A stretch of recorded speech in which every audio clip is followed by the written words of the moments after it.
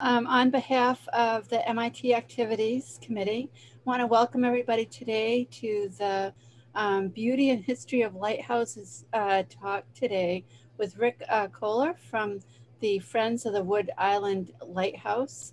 Um, we're so thrilled to have Rick here today, who's a true, you know, lighthouse enthusiast, um, and he's going to talk about the history of lighthouses um, from er very early um, Roman days to current day, day marks on lighthouses, um, Fren Fresnel lenses, um, and how they were used with the lighthouses, and also go through some of the the history uh, and the specific lighthouses of New Jersey and New England. Um, so without further ado, um, I want to welcome Rick and um, I'm going to have you take it away from here. So thank you so much for joining us today. Okay, thank you, Diane, and I'm very happy to be here. I am a lighthouse enthusiast and I do enjoy talking about lighthouses and I have given this presentation before. So let's move right into it and we can talk about uh, lighthouses right from the beginning of time.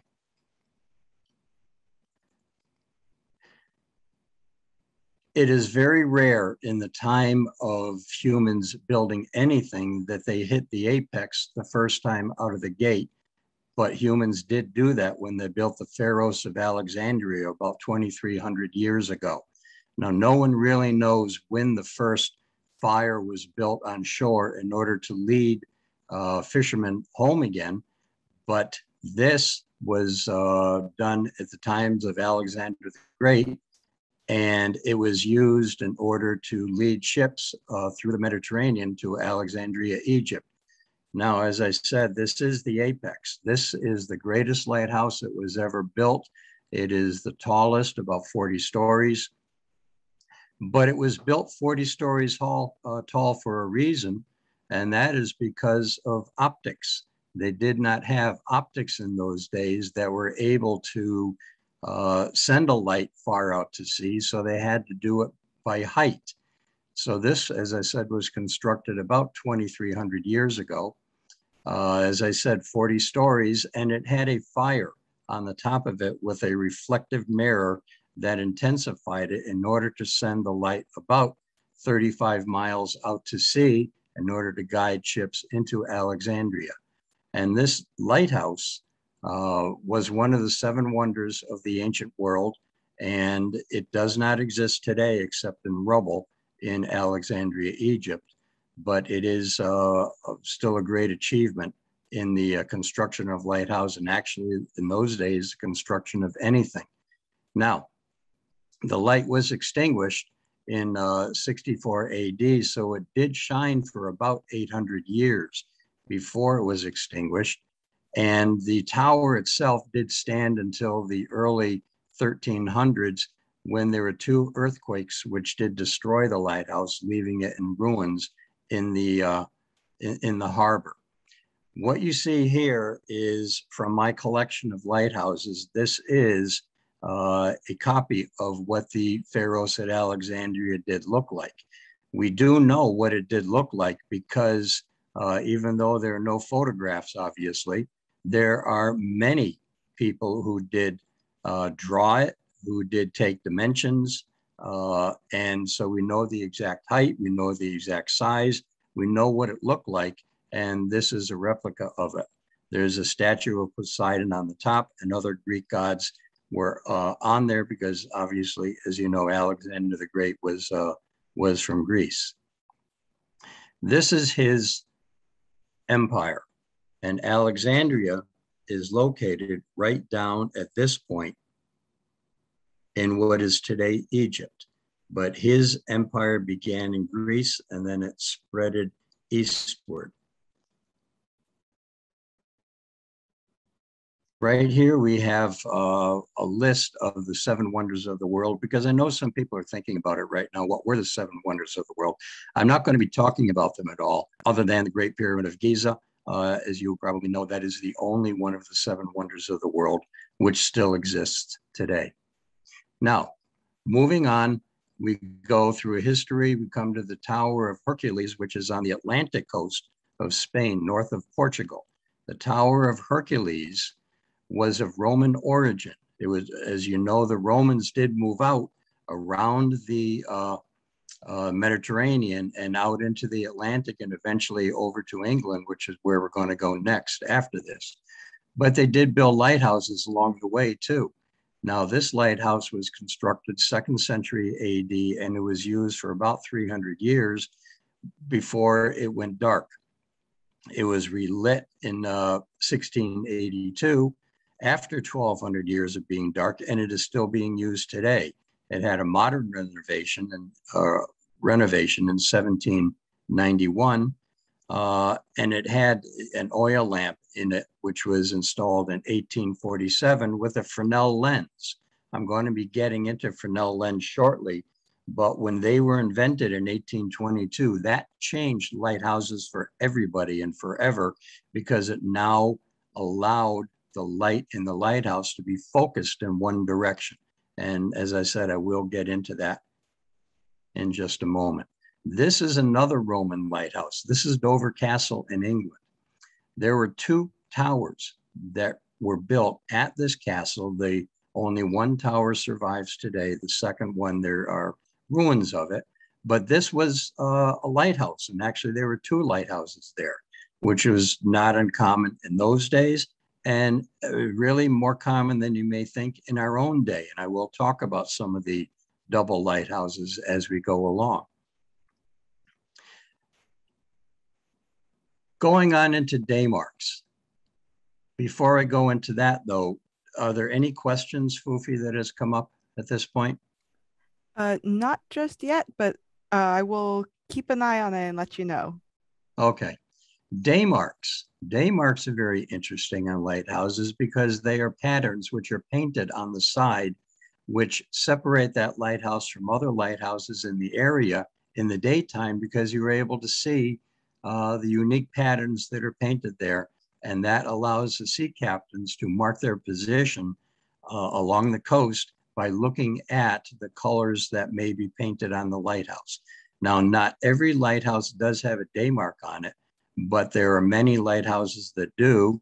And this is one of the most famous ones right here. I'm sure everybody has seen this at one time or another. This is West Quoddy Head, located in Lubec, Maine. Now, Lubec, this, this lighthouse actually sits on the easternmost point of the continental United States. If you, the only place you can go farther east in our country would be to go to the Aleutian Islands and go beyond the international date line. There are some islands there.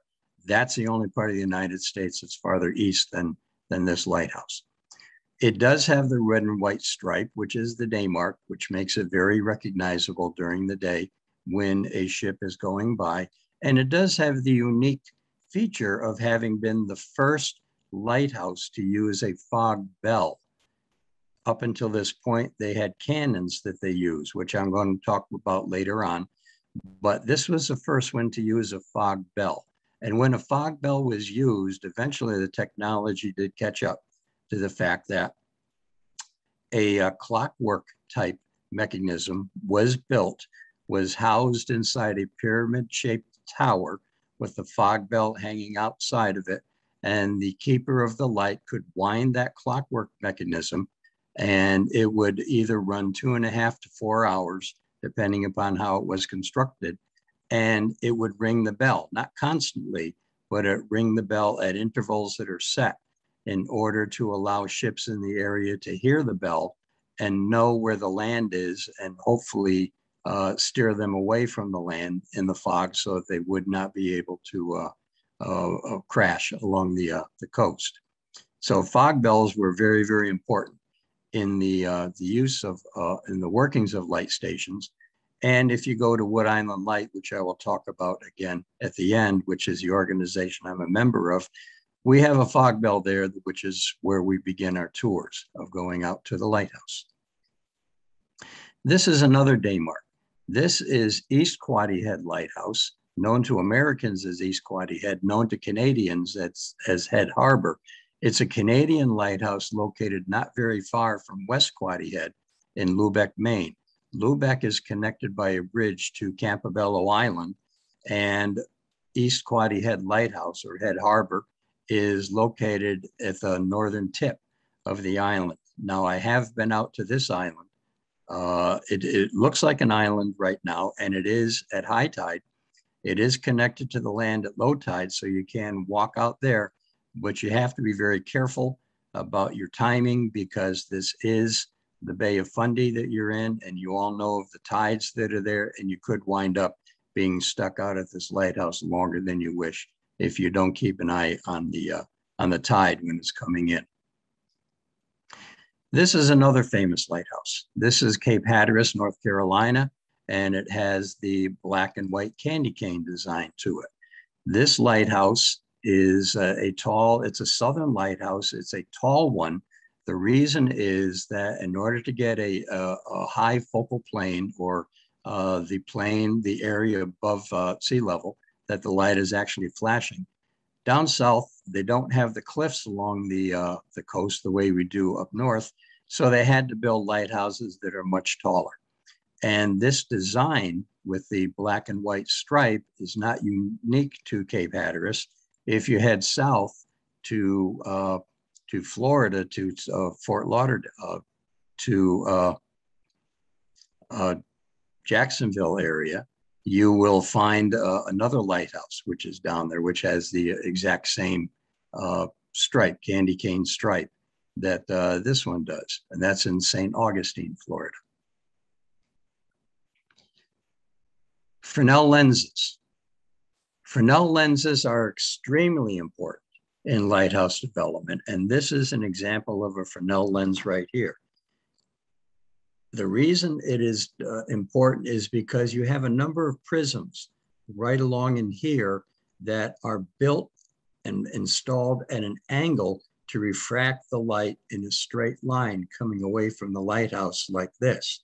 Now you have the bullseye right here, which has a convex lens and prisms right around it right here, which also refract light going out in a straight direction. And the same thing down here, light will be going in a straight direction in order for it to be concentrated out to sea rather than have light go in multiple directions as it would from an ordinary light bulb. This is Augustine Fresnel. Augustine Fresnel was a French optics genius who invented the Fresnel lenses in 1822. Now they're put together by hundreds of pieces of glass, uh, which are comprised uh, into a fixture uh, on the lighthouse, which would be made of prisms and sometimes mirrors, as well as the bullseye lens, which is going to reflect and or refract light in one direction.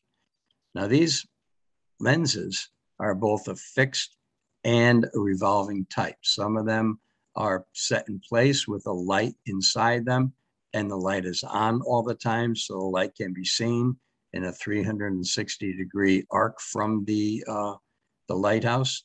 And sometimes they are reflected uh, and, and they move in a, a, a circular motion so that it does send light out to the ocean and it seems to flash at times when it comes directly at the uh, person who is viewing it.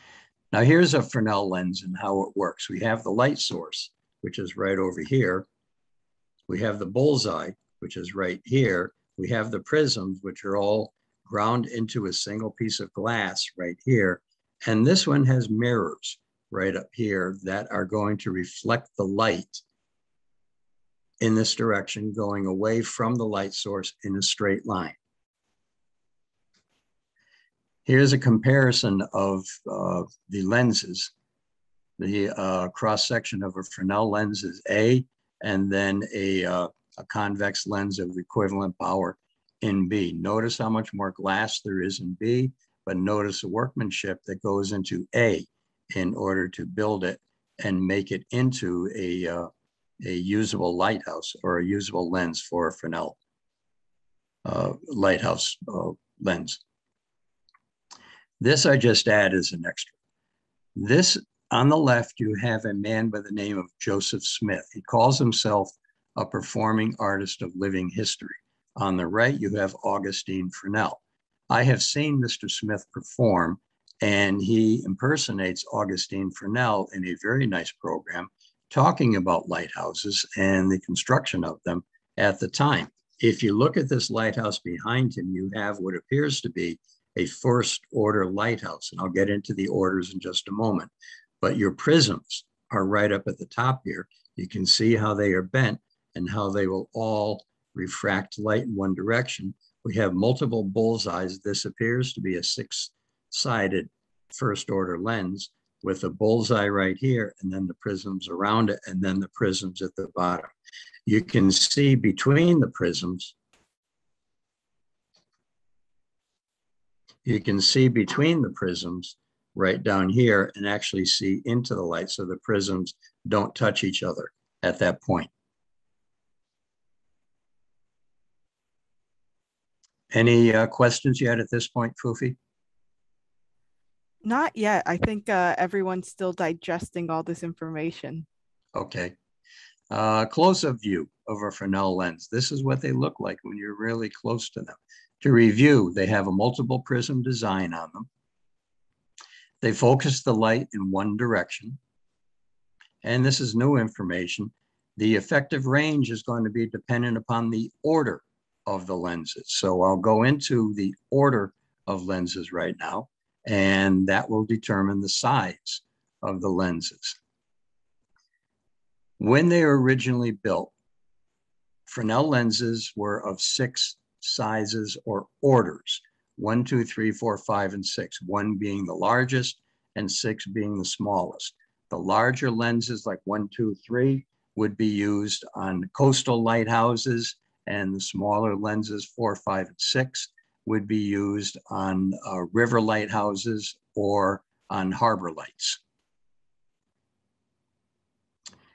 Eventually, there was a seventh uh, one that was built, seventh and eighth orders, and then there was an intermediate three and a half order lens. That became very popular. The seventh and eighth orders did not, but on the other end, those were very small. On the other side, though, we had mesoradial and hyperradial which were huge ones. And here's some information on some hyperradial lenses. Now this graphic that I have does say that there were about a dozen of these uh, large hyperradial lenses built. Another source that I have uh, stated that there were uh, about double that number, about 25 or so that were built. Nevertheless, they were very uh, very few of them used in the world, and they were built uh, and used very far apart. There was only one hyperradial lens ever used in the United States, and that was on the island of Oahu at Makapu'u Point Lighthouse in, uh, in Hawaii. Uh, the other light one I want to draw your attention to is the Bishop's Rock Lighthouse off the coast of Cornwall in the UK because I do have a picture of that.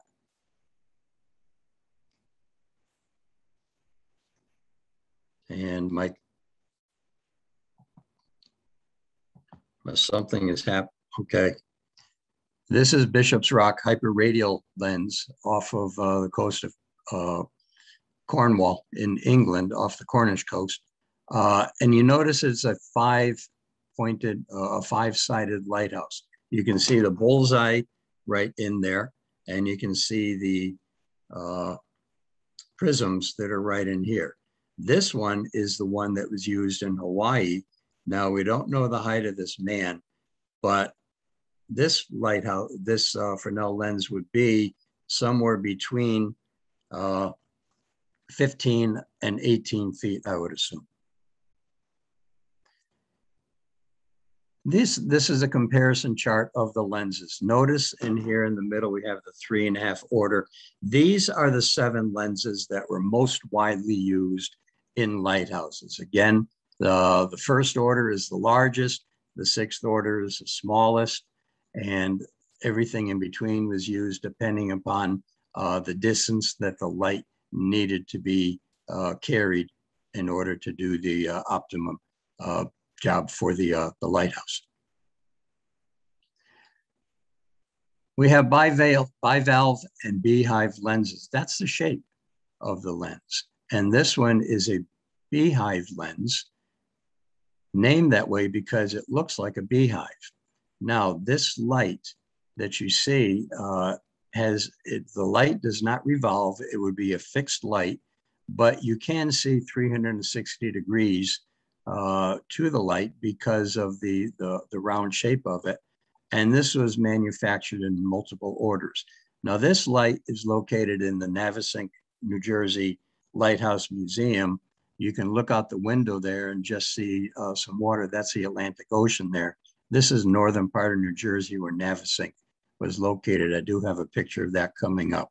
And it was uh, quite the lighthouse. This is an absolutely beautiful piece of art. This is a first order beehive style Fresnel lens that is in the Ponce Inlet Lighthouse Museum in Daytona, Florida. I when I took this picture, I was just in awe of the construction that went into this light and how beautiful that light is. On a sad note, though, uh, if you go north to St. Augustine Lighthouse, there is a similar light that was there, uh, that is still there in the uh, St. Augustine Lighthouse. But I was there at a time uh, visiting it with a cousin of mine just after somebody uh, from a distance with a high powered rifle had shot through the glass of the tower room, of the uh, lantern room, and right into the lens and destroyed some of the prisms that were in there. It was just wanton destruction of a beautiful piece of art. But uh, they also had a great deal of difficulty finding anybody who could cut new prisms for them. But uh, eventually they did, and it has been restored, I understand. This is a bivalve lens. This would be probably a sixth order bivalve lens. It is uh, named that because it has a similar design to a marine bivalve. Think of a clamshell when you're looking at this. Uh, the light source is between the, the two uh, sides of it. And these also were constructed in multiple orders. And this one is a first order bivalve lens in the same museum uh, the Navesink, uh, New Jersey Lighthouse Museum. Uh, looking at it from the side, you can see the light source, which is inside there, and the two lenses on the, the left and the right of the light source. That light that's in there, uh, I'm only taking an educated guess on there, but that does not have very high wattage because of the size of the lens here. Uh, in our lighthouse in uh, in uh, Biddeford Pool, Maine, we now have the Coast Guard has put in LED lights into that lighthouse, but the last lens that was there required only a 30 watt bulb in order to uh, generate enough light for the lens to be shot about uh, 18 to 20 miles out to sea. And that was because of the construction of the uh, lenses around it. going into lighthouses that we have in America. I'm going to talk about some different lighthouses, some of the important ones. There are many lighthouses in our country, uh, but we'll stick right around in the New England area and uh, the northern part of New Jersey. Here's the first light. This is the first place that a lighthouse was built. It's Boston Light in uh, Boston Harbor, not far from where you're located right now. And this was built on Little Brewster Island in Boston Harbor in 1716. And that light was the first one to have a cannon installed there in 1719.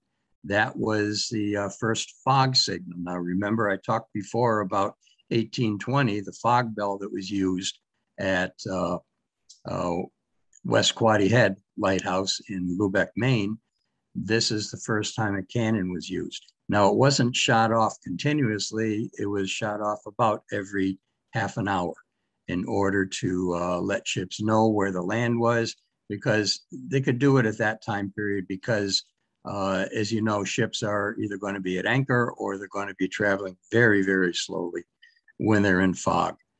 And think of the keeper too on the island. If you have fog, let's say it goes for five days, and he has to keep this cannon going every half hour for five days, that's quite a job. And he's going to need some sort of help, which usually came from a family member who was, and usually the keeper's wife also was trained in doing the job of being a keeper. Now we get into the history of this poor lighthouse because of what was going on in Boston in 1775 and up to 1781. We had the uh, Revolutionary War, and the British uh, controlled Boston in 1775, as you know. And the tower was burned down by the colonial army, rebuilt by the British, and burned again by the colonials in order to try and disrupt the commerce, the trade, the ships coming in and out of the British ships coming in and out of Boston Harbor at the time. In 1776, the tower was blown up by the British Army when they evacuated Boston Harbor. And the island was left that way until 1783 after the war was over. Now, John Hancock was the governor of Massachusetts at that time and he's the one that ordered that a new tower be built. Now, if you remember from history, during the seven, early 1780s, we were a country that was working under the Articles of Confederation. And the Articles of Confederation gave a great deal of power to the states, but we had a very weak central government at that time. And that's where it remained until 1789 when the federal government began to operate under the Constitution. Now, at this point in time, they created, the federal government created what was known as the lighthouse establishment. And the lighthouse establishment took control of all lighthouses in the country at that point in time. And it was not at all uh, unreasonable for the president of the United States, in this case, George Washington, to get involved in the building of light lighthouses, the siting of them, choosing locations where they're going to be built, and so forth. And that's exactly what uh, what went on here. And the lighthouse, another location, was already chosen, uh, but a new lighthouse was raised, and it was uh, raised to the height of 89 feet in 1859. Uh, new tower room, constructed new home, 12 sided uh, second order Fresnel lens. It was also a tower lined with brick. And you can see that if you go to our lighthouse too, Wood Island Lighthouse, it is a rubble stone tower on the outside, but it is also lined with brick when that tower was built in uh, 1858.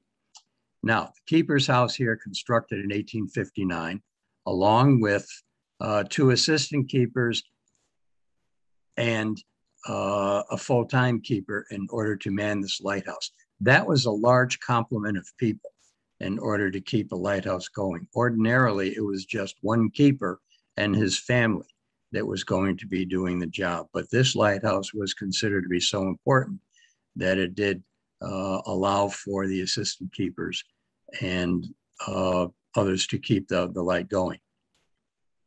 It does have a second order Fresnel lens, which is going to send the uh, the light out 27 miles to sea, which is a good distance for it to go in order for ships to be able to pick it up as they come into Boston Harbor.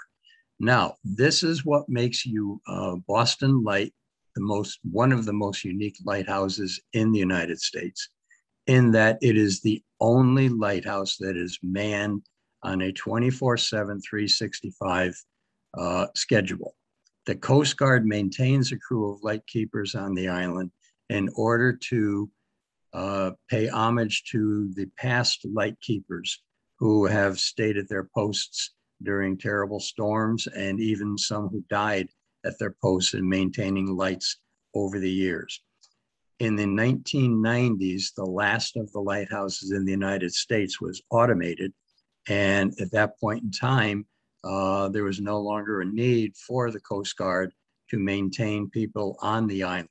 The Coast Guard became involved in light keeping in 1939 when the lighthouse establishment, which had become the United States Lighthouse Service, uh, the lighthouse service ceased to be and was rolled into the Coast Guard.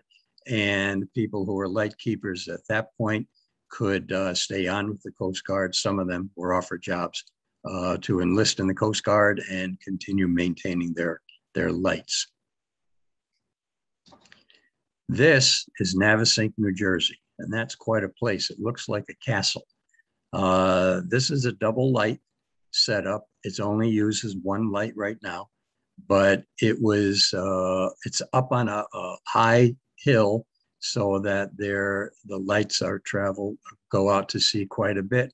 One of the reasons for the double light was that you would be able to, you meaning a, a helmsman or a captain of a ship, be able to determine where they are along the coast by the two lights being worked uh, in concert right next to each other. So that's why in some places they did have two lights. Now, Navesink is important for all of the other firsts that happened there. Another, uh, the first Fresnel lens in the United States, the first fueled by kerosene. It was one of the first that was uh, uh, switched over to electricity, that used electricity in order to light the lights. In the 1930s, they had secret uh, uh, government experiments were going on there where they were shooting invisible rays out into the ocean and getting them to bounce back. And, and that is what we eventually be called radar. So that was one place where radar was being tested in order to, because of the height there and its direct uh, view out into the Atlantic Ocean. This is Sandy Hook, New Jersey. Sandy Hook is down the hill and up the coast a little bit from Navesink. Now, you look at this thing and you look at the background behind the lighthouse and you say, why in the world would anybody build a lighthouse in the middle of the woods? And that answer is coming up. But first, this is the oldest. This is what you see there is the original lighthouse built in 1674. It is the oldest continuously used lighthouse in the United States. It's located at the southern entrance to New York, and it was actually funded by the New York Assembly back in the 1700s because it was the light that lit the way into New York Harbor, and it still is one of the lights that does so. Uh, another light that lights the way into it, most people don't think of it as a lighthouse, but it is, and that is the Statue of Liberty. That is considered to be a lighthouse. Now, why was it built in the middle of the woods? The answer is it wasn't. When it was originally built, it was 500 feet from the tip of Sandy Hook. But because of currents, tides, and the shore drift that has taken place over the last couple hundred years, uh, this lighthouse is now 1.5 miles from the tip of Sandy Hook. But that's not 1.5 miles of wasteland there. If you want to go and visit it, you can drive around that 1.5 miles and you can drive through the streets. It is the, uh, uh, I don't remember the name of the fort, but it is a, uh, a a fort, a World War II era fort, which is no longer commissioned, but it is open to the public to drive around if you want to.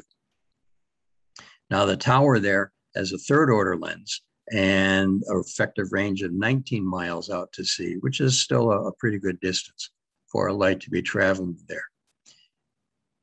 Any questions at this point in time from anybody? Yeah, we have a number of questions actually. Uh, okay. First up, from Belinda, are the lenses heavy? The yes, uh, the smaller ones like the seventh order, the the sixth order lens is something. The one, the small ones you saw is something a person could pick up. If you're talking about the large ones, uh, no, a person cannot lift them up at all. They're made of solid glass and they are works of art. Uh, they're actually valued. Uh, some of the, the first order lenses over a million dollars today. Uh, but they are very heavy and they have to be moved very, very carefully. But they do come apart. So when they do need to be moved, you can take out the prisms uh, in order and then put them back in the same order, which makes it easier to move them. But I'm not going to try to move them. Too heavy. All right. Uh, so the sort of follow-up question to that. Uh, do the fixtures require more than one person to is- install them? How does installation go? Uh, I'm not too familiar with the installation, but I would say yes, it would be more than one person who's going to have to do it. Uh, you got to put everything in in the exact order, the exact angles. The uh, prisms, which are divide, uh, designed to slide in, the metal that they slide into has to be at the perfect angle in order for the uh, the prism to refract the light at the exact angle that it's designed uh, to work so that it'll give you the optimum efficiency. Uh, so I would say yes, there are going to be a number, you're going to need at least two people, probably more, in order to install a large one. Not the same with the smaller ones. Cool. Uh, and then next up from Wendy, um, is it the responsibility of the keeper if they in fact still uh, for the ones that still have them to clean and maintain these lenses? There are no, every keep- go ahead, and, I'm sorry. uh, does every lighthouse have a keeper? I guess uh, in terms of bef- before they were automated. Before they were automated and when lighthouses had a keeper, yes, it was their job to do everything. They had to maintain the glass on the outside. They had to paint the towers. They had to keep the house painted. And in addition, many keepers were also farmers. Uh, back in the 1800s, they raised some of their own food. So they had farm animals. They had to maintain the, the farm animals. They had uh, barns. Our lighthouse in Maine, uh, we have pictures of it with the barn that was still there that, uh, that was used at one time. So keepers were responsible for everything, and there were supervisors that came around periodically in order to check on the keepers to make sure the keepers were maintaining their lights and that the the lenses were cleaned uh, often, that the glass in the uh, uh, around in the lantern tower was cleaned often so that uh, there wasn't dirt on there, which would impede the uh, the light flowing out to sea. And the keepers were very, very busy people. Yes, when they did have them. Nowadays, there are no keepers anywhere except at Boston Light. So the job of maintaining all of that, uh, in our case at Wood Island Light, falls to us, the people who are members of it. Uh, we have an organization uh, known as the Friends of Wood Island Light. We have people who are known as the Woodchucks and the Woodchicks. And I've been a, a woodchuck since uh, 2004. And we're the ones that cut the grass around there. The woodchicks take care of the flowers. Uh, they will take care of the inside of the house. They help on the outside. Uh, everybody chips in. And it is our job to maintain everything to do with that lighthouse except the light itself and the uh, signal. That would be the job of the United States Coast Guard. They're the only ones that touch that. That's incredible. Uh, and then uh, last couple questions for now uh, from Anthony. First up, do you know how keepers were paid back in the colonial era, and were they? And the second question to it is, were they hired by the town or trading companies? Well, the keepers were hired by the state uh, or whoever was in charge of the lighthouses at that time prior to the uh, uh, 1789 when the Constitution went into effect. It was each state who was in charge of the lighthouses that were in that state, and they would have some type of a board or some organization that would be in charge of them and hire the keepers. Generally, they they could uh, they were often local people who were given the job of maintaining the light, but it was a full time job for them, and it was often a job uh, that was passed down from father to son or father to daughter. Uh, there were women who were lighthouse keepers. Uh, they often took over from their husbands or, in some cases, uh, their fathers. So that's how they got to be that uh, those keepers. When uh, the federal government came into being in 1789, that was when the United States Lighthouse Establishment was uh, organized, and people became employees of that organization and they were paid whatever the amount of money was that they signed on for. Uh, it may be uh, $500 a year that they would earn as their uh, their pay for for working at a lighthouse and maintaining it. But they also had a home that they could live in, but they also had to maintain that house themselves too. So I hope that pretty much answers those questions. Yeah, I think so. Thanks. Uh, and we can uh, move on and we'll just uh, see if anyone has more questions about the next section. Okay, moving on now. This is Avery Point Lighthouse. It is probably the most unique lighthouse in the United States. And it's located in Groton, Connecticut at the UConn Avery Point campus. Uh, it is not a very big lighthouse, as you can see. There is no keeper's quarters, and you may wonder why. And the reason was it was never intended to be an aid to navigation, which is what lighthouses are. Instead, Avery Point was built as a memorial or a tribute to all of the uh, lighthouses and lighthouse keepers of the past. And that's why it, uh, it, it, exists. And there really isn't a need for it where it's located. I've been there many times. Uh, I live in Connecticut. Uh, so I've been to Avery Point many times and looked at it. But this is a little bit of the history of it. Uh, it was built on its location because the Coast Guard used to have a major Coast Guard facility right at Avery Point, which is part of the town of Groton, Connecticut, right across the, uh, uh, the Thames River from New London. Uh, when the Coast Guard moved to Governor's Island in New York, they abandoned the lighthouse and it was in a state of disrepair in 1999 and 2000 when restoration began on the lighthouse by the Avery Point Lighthouse Society.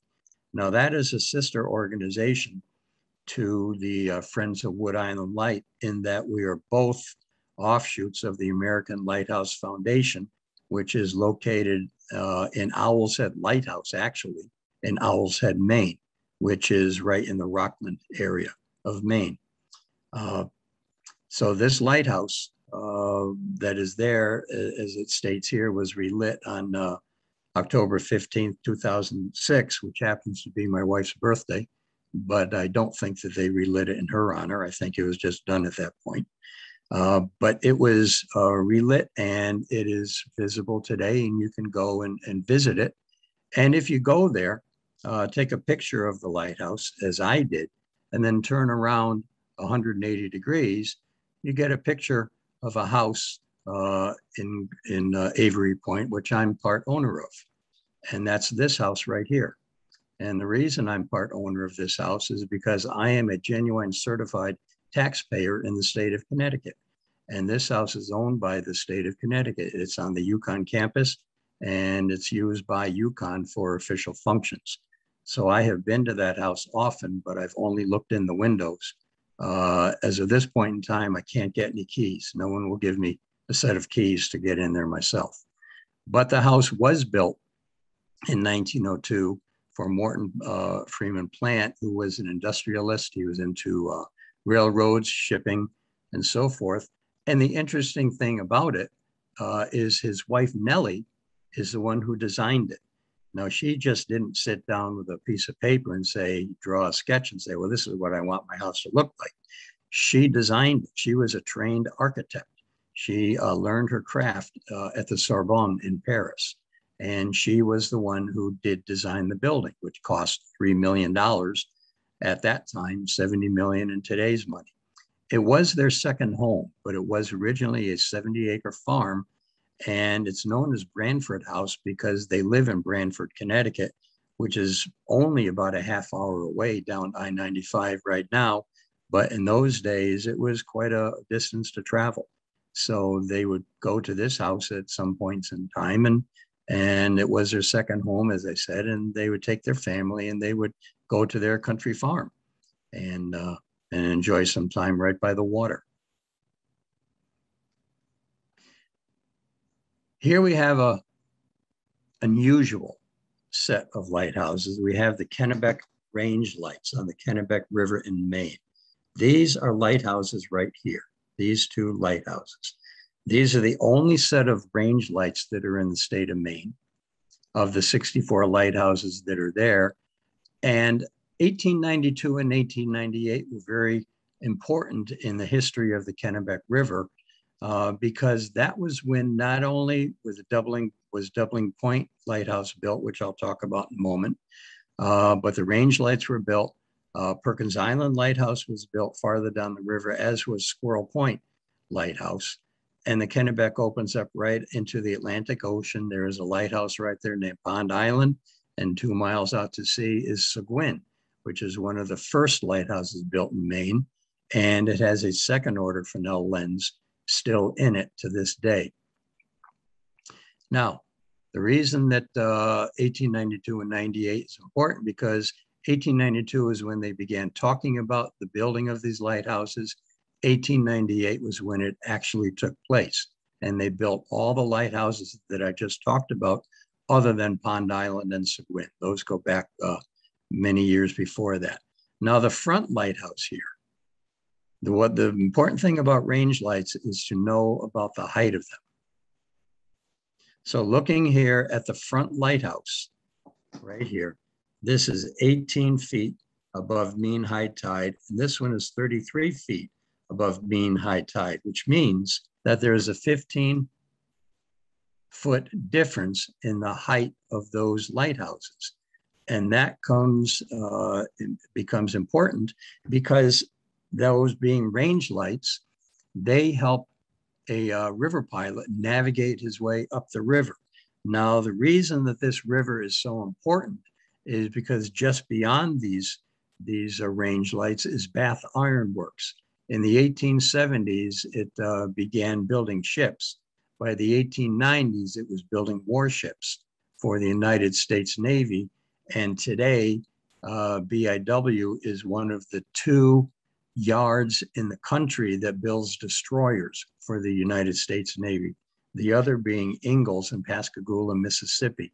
So that means that the Kennebec River is very important to the security of the United States in that there has to be a free flow of uh, shipping that goes on in there. Those destroyers, when they come in for service or if they are being launched, need to get out as soon as they can. An example of that happened uh, just last week when there was a uh, over 100 year old uh, sailing ship that had, I think it was 16 passengers on it, that capsized in the Kennebec River right in front of the Maine Maritime Museum, which is right next to Bath Iron Works. The Coast Guard got into there immediately, and it took them only a few days to uh, right that ship and tow it out of the way just in case of an emergency, in case uh, a destroyer needed to get in or out of that area. Uh, it was very important that they they do that. But how did they go about doing that?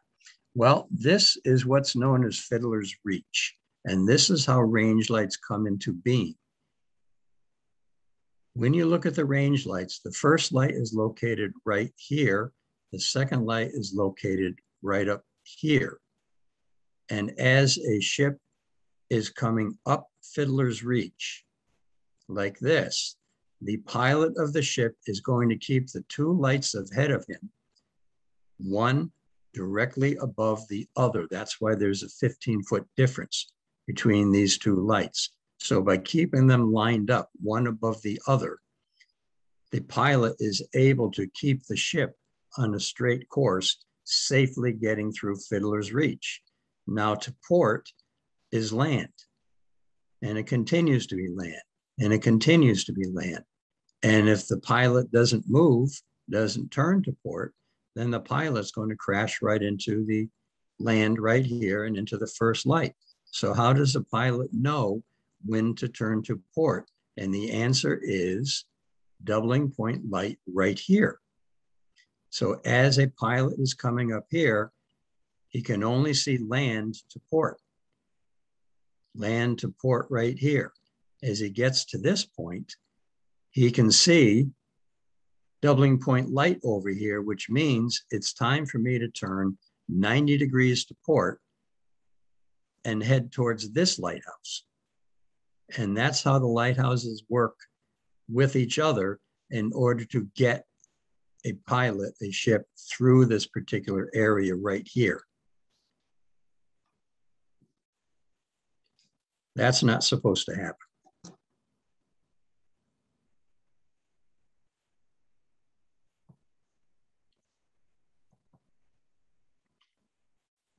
So going on to here at Fiddler's Reach, as you travel around the corner here, you have Maine Maritime Museum right over in that point. Uh, Bath Iron Works right ahead. For some reason, it likes to move at this point on its own. And I'm sorry, I apologize for that. Uh, and then just above Bath Iron Works is the city of Bath, Maine. So that is the area that you are located in right at this point in time. If you've ever been to that area and seen those uh, attractions, this is the point that we're at. Doubling Point Light is directly across from Maine Maritime Museum. And this is what Doubling Point Light does look like. That keeper's house that you see in the back there is the keeper's house for both the range lights and Doubling Point Light. So this light station had three lighthouses there that the keeper had to maintain. And here are some facts about Doubling Point Light. Again, 1992 was when it was designed and, and talked about. 1998 was when it was built and wood. It was made out of wood. All of the lighthouses along the Kennebec River were made out of wood in 1998 and they are still standing today. The light could be seen about nine mile nautical miles, which is not a lot uh, because it is a river lighthouse and you just need uh, to be able to see it up and down the river. The original Fresnel lens, which is uh, was at the, the lighthouse, is supposed to be at the Maine Lighthouse Museum. I did go to there. I did ask if I could see the, the light that was there, but unfortunately, the person that I spoke to didn't know which light they did have, which third order lens they did have, was the one that was at Doubling Point Lighthouse. But still, it's uh, worth, if you're a lighthouse enthusiast, it's well worth the time to go to the Maine Lighthouse Museum in Rockland. Now, any questions at this point, Fufi, before we go into uh, talking about lighthouse visiting? Uh, no questions just yet, but John did drop into chat a link for uh, Fresnel lenses, order sizes, uh, weights, and quantities. If anyone's curious about those lenses and wants oh. some more reading. Okay, thank you. That's interesting. Now, the reason this says visiting lighthouses easily accessible to Ocean Park is because Ocean Park, Maine, part of Old Orchard Beach, is where I have a home, and it is very accessible to Wood Island Lighthouse, the organization that I represent here, and the one to which I am a, a member, where I am a woodchuck as well as a, uh, a docent, and I, I, take people on tours out to the lighthouse. Uh, Ocean Park uh, is located just south of Old Orchard Beach, but it is part of the town of uh, Old Orchard Beach. And I have given this lighthouse tour uh, most recently to people in Ocean Park, and that's why I geared it towards them. This is Cape Elizabeth, or also known as Two Lights. On the left, you have a picture I took of Cape Elizabeth Lighthouse. That is the light which is uh, lit today, which you can see. On the right, you have the two lights there. The one in the foreground is the same lighthouse that you see on the left-hand picture. And the one in the background is still standing. It does not have a lantern room in it anymore and it is privately owned and it is not lit, nor is it in any way maintained by the Coast Guard. But this is an example of two lights that are put together uh, as we had seen earlier in Navesink, New Jersey. And this was, uh, uh, ship captains were able to know their uh, area by the two lights that were together. As I said, this was not uncommon. If you've been to Chatham, Massachusetts, right on the elbow of the Cape, at the uh, uh, Chatham Light, you will see one light standing there and the uh, foundation for a second light. That light was removed a number of years ago and moved to Nauset, Massachusetts, where it was placed and was put into service at that point. And then it had to be moved back because of erosion. Erosion, it's being moved, uh, it was moved back from, uh, from the cliffs so that it would continue to survive. If you go to Nauset, behind Nauset in a field, there are three small lighthouses together there known as the Three Sisters. They used to be on the forearm of the Cape too, between Chatham and uh, uh, the the the uh, the tip of the Cape, and you would be able to see those three lights together, short lights, uh, being able to, as as you were traveling up the Cape, and you were heading uh, around the Cape into Boston or wherever you were going. So that's why they had multiple lights in some locations in order to help uh, people to find uh, uh, ship captains to know the uh, area that they were going to be uh, sailing in. This is the granddaddy of all the lighthouses. Everybody's seen this picture before one time or another. This is the Portland Head Light Station. And it is the most photographed or supposedly the most photographed lighthouse in the United States. And everybody's drawn to this picture because it's such a beautiful picture and hardly anybody looks at this lighthouse right over here and that is Ram Island Ledge Lighthouse, which is right here on the right. Now, Ram Island Ledge is a privately owned lighthouse, but between the, these two lighthouses travels all of the ships that are going into Portland Harbor in Maine. And there, this is important uh, in the days of sail because that's where uh, ships are going to be heading. The two lights together are lighting the way to get into the lighthouse. So you had the two lights at Cape Elizabeth, and then you had two lights much farther apart though than at Cape Elizabeth that led the way into Portland Harbor. The one on the left is a halfway rock lighthouse, which can be seen on a clear day from uh, Portland Headlight. And that one is heading halfway up to Boothbay Harbor. That's how it gets its name. Looking into Portland Harbor from Portland Light, you can see these lighthouses. Well, looking south, you're going to see Cape Elizabeth, the one I just talked about. But the one that you see here, Spring Point Ledge, is a lighthouse which is lighting uh, the inner harbor of Portland. That's why it's a small, it's uh, called a caisson or a spark plug type lighthouse because it looks like a spark plug. And that's where it gets its name, but it's a caisson type and it is not does not have a powerful lens in it, but it doesn't need one because it is a harbor lighthouse. And then farther on in, you get into Portland Breakwater, or also known as Bug Light. And this light also has a small light in it, but it is the closest one to the actual waterfront of Portland Harbor. If you go to Maine Maritime Museum, that is Doubling Point Light, which we just talked about behind you. They do have lighthouse cruises that you can take going down the Kennebec River. And the uh, Maine uh, Maritime Museum does uh, still do those cruises this summer. I know of people who have gone on them. Uh, and that's a number for the uh, lighthouse, for the uh, museum. If you're interested, and you could find out about departure time in that area. Here's a couple of outer town lighthouses that I just threw in. Howth Head Lighthouse in Dublin, Ireland. Uh, I found this one quite by accident. My wife and I were in Ireland almost two years ago. We stopped for a break and I looked down and there's this lighthouse. I had no idea what it was. I took a picture of it and I blew it up here. Uh, it's actually quite farther away than where I was standing on this one. And then I went into uh, reference books to look up and see which lighthouse it was and this is Howth Head in uh, Dublin, Ireland, at the open, the mouth of uh, Dublin Harbor. Malarrif Lighthouse in Iceland. This picture was given to me by my daughter, and she and her husband went to Iceland about two or three weeks after my wife and I went to Dublin, Ireland, almost two years ago. And she gave me this picture, uh, and I had to look that up. Uh, one of the, the best part about her going to Ireland, though, was the fact that uh, as she traveled from Colorado here to Connecticut to uh, get over to Iceland, she dropped off her two kids, and my wife and I had uh, a ball with our two grandchildren from Colorado uh, for the time that they were gone in Iceland.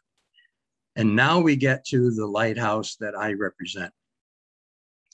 This is Wood Island Light Station. It is located in Biddeford Pool, Maine. The lighthouse was uh, restored. As you take a look at it now, that is exactly what it looked like in the year 1906.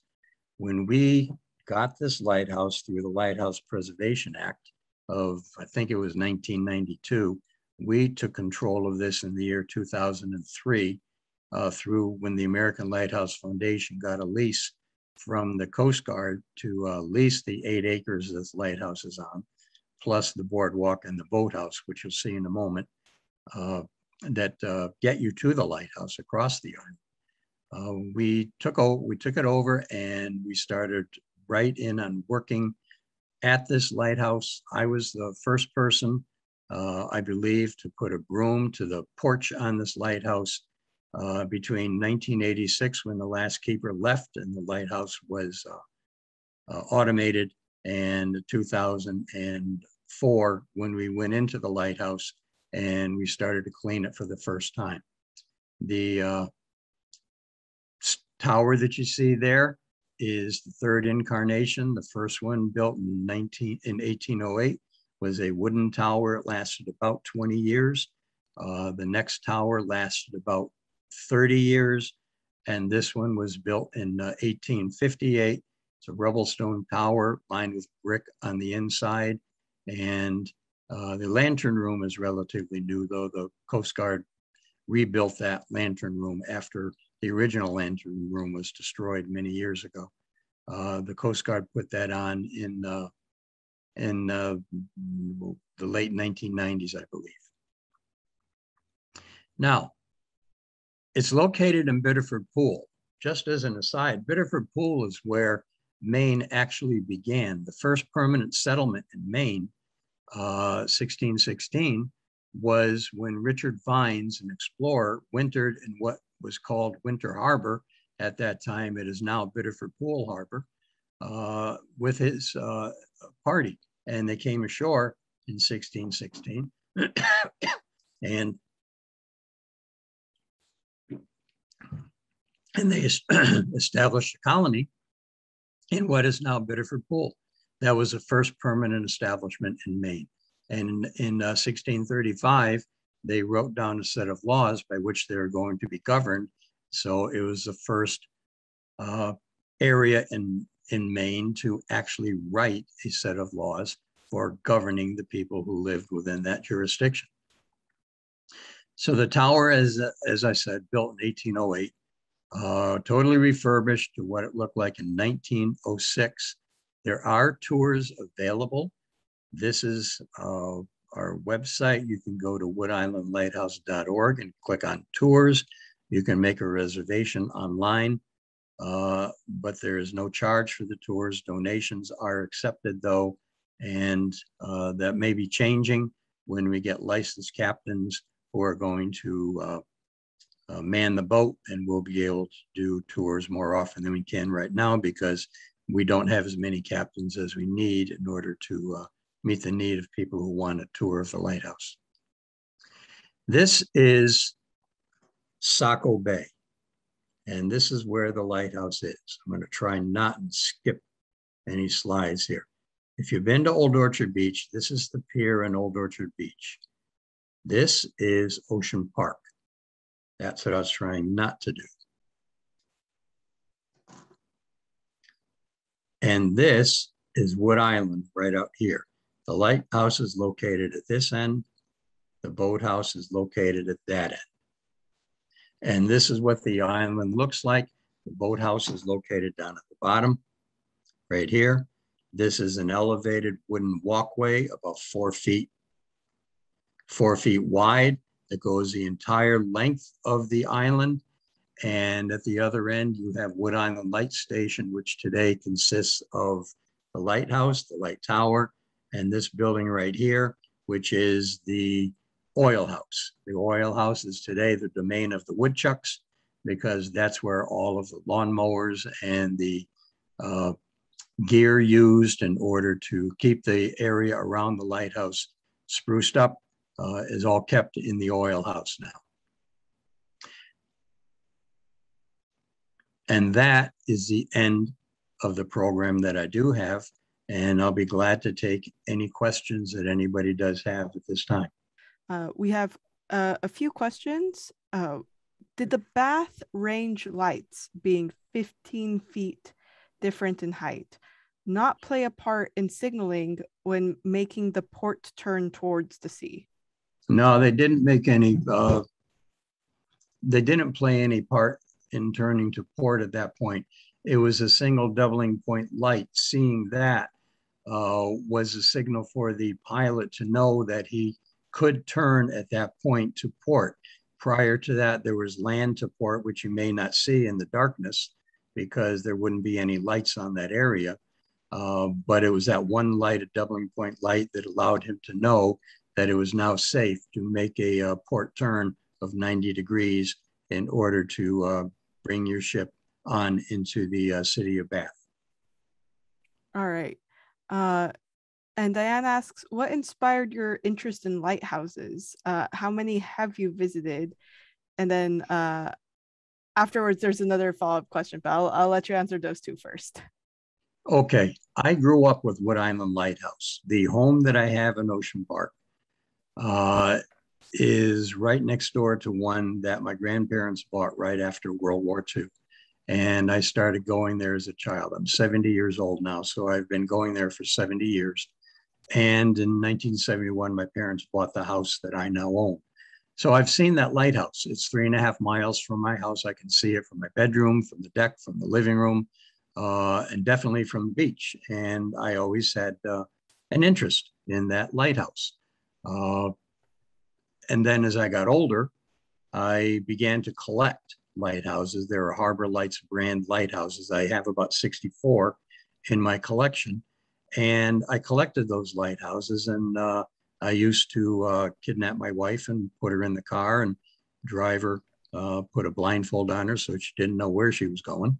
And we'd wind up at a lighthouse someplace. And she'd say, Oh, not again. But uh, we would go and look at that lighthouse.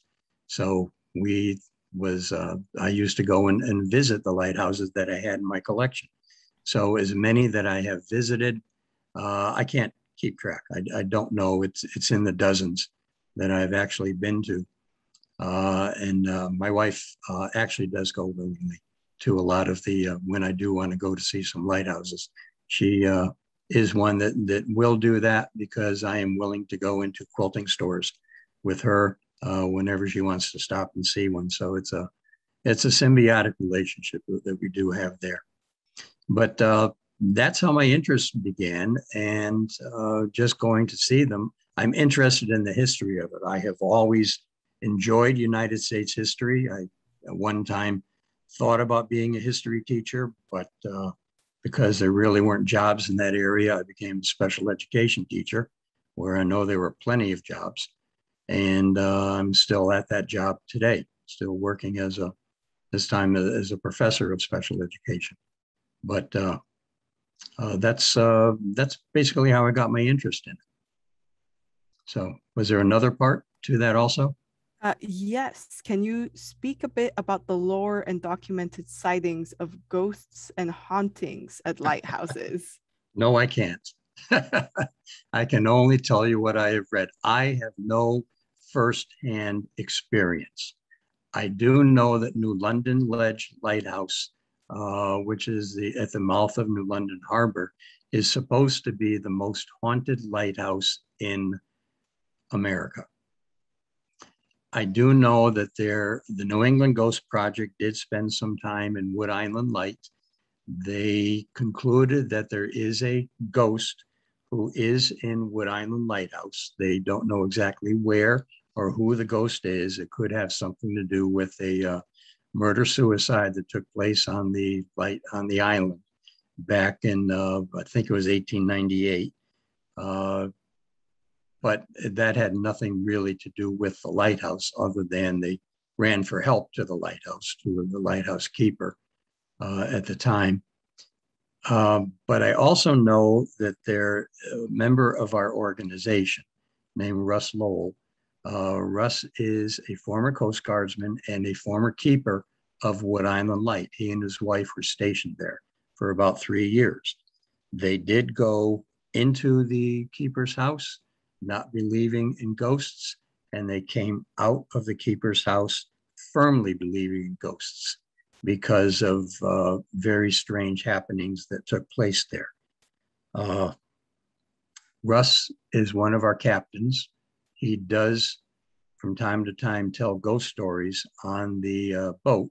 It's about a 10 minute boat ride leading, leaving from Vines Landing in Biddeford Pool to go out to the lighthouse.